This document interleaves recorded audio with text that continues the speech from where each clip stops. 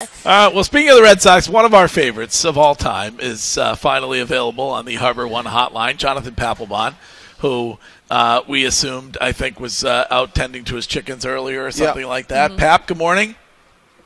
What's up? What's up? Yeah, I had a few loose chickens this morning. What's up, team? Um, are they are they back in the coop? Yeah, yeah, yeah. They're back in there, laying their eggs, doing what they need to do. You know what I mean? So we're all is good. All is good. I'm getting Um, jacked up today, though, baby. Opening day. Yeah, well, I mean, one of the all-time great days in the city, and, and you know that from your time here. And I have, I don't know if you had much chance to pay attention during spring training or not, but what do you, uh, how, how do you feel about the pitch clock, and, and how would you have felt about it if it were there when when uh, when when when you were pitching? I tell you what, you know, now that I'm on, uh, signed with NESN, I think I've paid more attention to baseball than when I actually played, man. But um, good lord, these rules! I, I I had to listen to like an hour long spiel on the rules the other day. But you know, way back when I played, um, I specifically remember Theo telling me, "Don't worry about this uh, hurry up and pace of uh, procedures." That it all started beginning and then I started getting fined, and then Theo was like, "All right, we got to change it." So, but anyway, I think that it's a good idea. Honestly, I do. Um, our goal is to have have more fan entertainment, and so um, I think it's going to help. Now, are there? Is it going to go by perfectly? Hell no. This is not a perfect. It, it's not going to just you know magically be the the the solution to everything. I, I, the one thing that concerns me which a lot of us did not see in spring training is when the manager wants a challenge, he's got to throw his hands up. The umpire starts a 15 second clock and says, okay, you got 15 seconds to get down in the tunnel and figure out whether y'all want to challenge this or not. Well, my concern is you got guys like Buck Showalter who this guy might be throwing up his hands on every single play, seeing if I need to challenge. You know, so there's going to be some hiccups, but I think over uh, as a whole, it's going to be good for baseball. I do.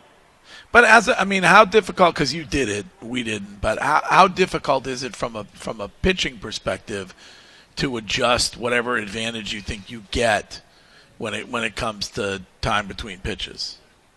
Well, look, the advantage is going to be with the hitters. That's that's a fact. Uh, you know, pitchers now have to they have to keep up with so much more. The base. Oh. Uh, uh, how many cell towers are there in Mississippi? I mean, Out on a farm got too. me? I- oh, oh, oh, is he back? Y'all got me. Yeah, oh, yeah, there we yeah. think of. Yeah, so you know the advantage is going to be to the hitters. There's no question about that because the pitchers now have to worry about how many you know step offs they had. The bases are bigger, um, you know stuff like that. So they have to pay attention to a whole lot more now. There's no question about that. Instead of focusing on the job and the task at hand, getting hitters out. Um, but I think the pitchers will be able to adjust. Uh, I think you saw Max Scherzer do a few little things playing that cat and mouse game this spring. Um, you know, for the guys that are coming in the minor leagues and, and, and going to play this year in the big leagues, it shouldn't be that hard. But the guys like your Scherzers, your Verlanders, who's been pitching the league for a long time, um, your Chris Sales, you know, those guys, there there's going to be an adjustment. Um, so, you know, it, only time will tell. But I'm very interested in to see how things go. Well, Pap, when when when you look at this Red Sox team, I think the biggest thing for players is trying to be able to understand, especially these newer players and these younger players, is to deal with uh, the pressure when it comes to winning in Boston, especially off of a season like they had last year.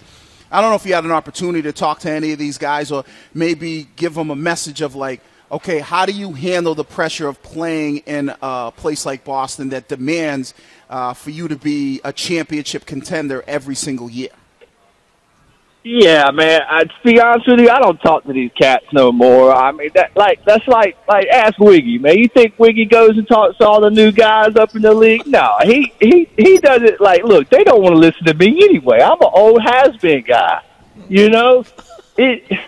But here's the fact of the matter is, when you play in these types of cities, like Boston, like New York, there comes expectations. And when you play in these cities, if you don't want to answer to the media, if you don't want to do certain things in the public eye, well, guess what? You ain't gonna last long. That's just how it is. And you know, uh, I know a lot of people doubt the Red Sox this year, um, but this year to me is um, a year where you know what they've got everything to prove and nothing to lose. Right? Everybody thinks they're going to suck already, right?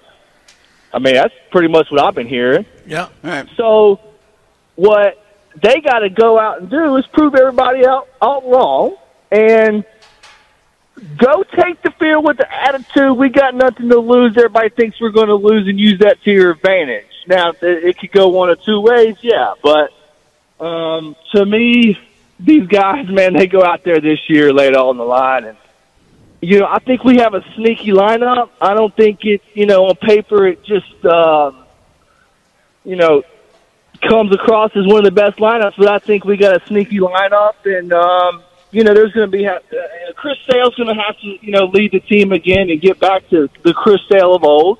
That's a fact. Um, maybe stay off a bike, you know, for the season. you know, we don't need to ride any bikes. Two things like that, but um, there's going to have to be some certain leadership that to the table this year in order to take where they need to be. Well, listen, we're kind of up against the clock. I, I wish we had all day with you, but um, New I'm segment, Ask I- Wiggy. Ask Wiggy, yeah, Ask Wiggy, new segment, Ask Wiggy, and Jonathan Papelbon. As always, a pleasure. We will be watching you on NESN all season long. All right. All right, man. Sounds good. Y'all have fun today, and uh, y'all try not to drink too many beers. Uh, Where y'all at? At Cask 'n Flagons today? Where We're- y'all yeah, at? we're gonna head over. We're gonna head over to Cask 'n Flagon. Show. Did you have a favorite place down here? Was it Cask 'n Flagon or Baseball Tavern? Yeah, Cask 'n Flagons was one. I used to pull a few bottles of liquor there, you know. So, yeah, y'all have fun, man. Pour out All a little right. liquor for me. All right. All There- he is. All right, Oh, Jonathan go ahead. Papelbon.